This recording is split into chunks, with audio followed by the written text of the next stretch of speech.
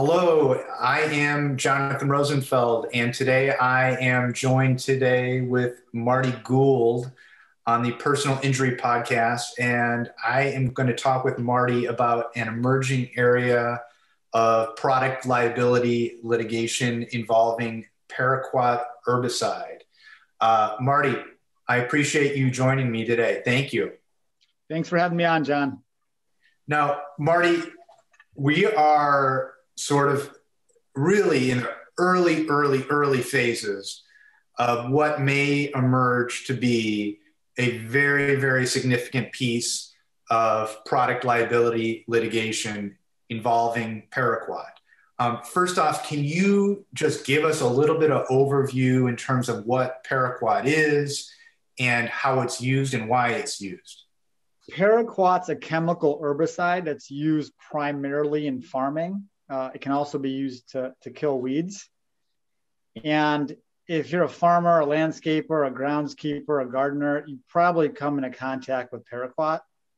Uh, in, in 2011, a study by the National Institute of Health found that people exposed to paraquat are approximately 2.5 times uh, or 250% more likely to develop Parkinson's disease. And so today we're seeing there's been a, a trickle of lawsuits that have been filed um, down in Southern Illinois, but we're seeing a trickle of lawsuits that have been filed by primarily by agricultural workers who have been exposed to paraquat uh, during their uh, their work, um, and they, the allegations are that they were uh, they were never warned of the potential dangers related to paraquat. Is that correct? That's correct. Uh, now that they're finding out, finding out about, or we're publicly finding out about the links between paraquat and Parkinson's, uh, lawsuits have been filed. A lot of them in Southern Illinois uh, against various companies that manufactured it or sold it. Um, and most of these plaintiffs are Illinois crop dusters or farmers, landscapers, and it's essentially that that there was knowledge about these harms that weren't disclosed to the consumers. So, you know, whenever you bring in a case in terms of products liability, you're always you have to give an uh, make these allegations in your complaint. Uh, the primary allegation, I guess, at this point is that these manufacturers uh, knew or should have known of these dangers, but failed to put any warnings on the the uh, the product while the uh, while they were using this, correct?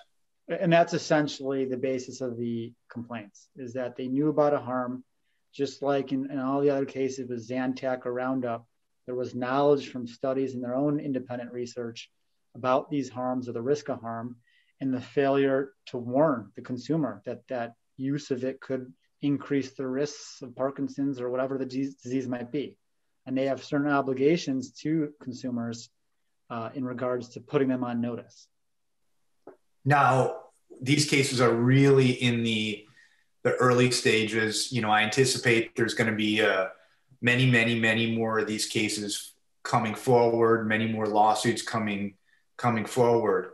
Um, it's safe to say that there have not been any settlements related to paraquat lawsuits at this time. Not any on a wide scale basis, um, but you know there there has been a, a lot going on in terms of paraquat uh, and various uh, countries is reviewing uh, paraquat, uh, its safety. So the European Union banned the herbicide back in 2007. China, Brazil, and several other countries have banned its use. Uh, and I don't think we're too far away from seeing it banned in, in many other countries.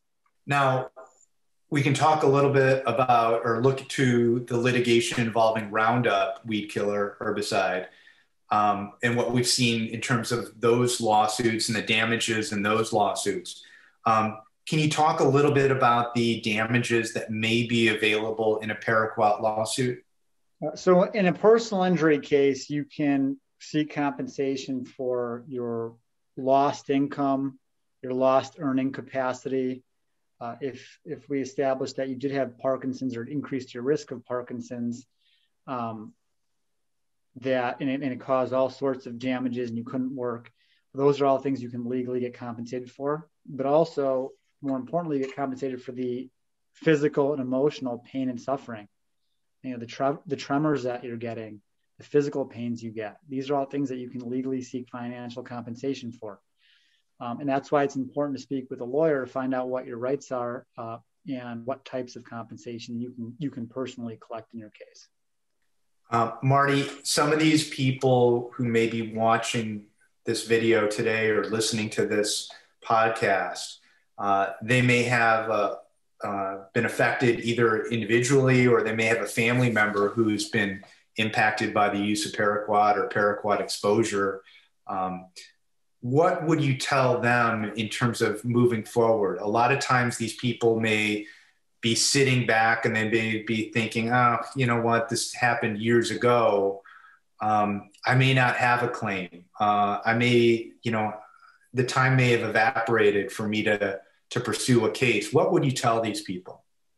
It's important to speak with a lawyer who can examine your specific facts and know your rights. Uh, many states have laws uh, that allow you to still bring claims, even if your exposure uh, was from decades ago, or your or your Parkinson's that you had uh, was diagnosed decades ago, because many states have what's called a discovery rule.